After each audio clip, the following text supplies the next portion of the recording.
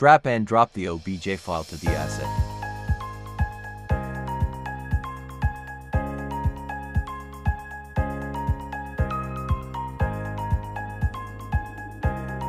Drop OBJ from asset to the scene. Use the Transform tab, adjust the scale and rotation.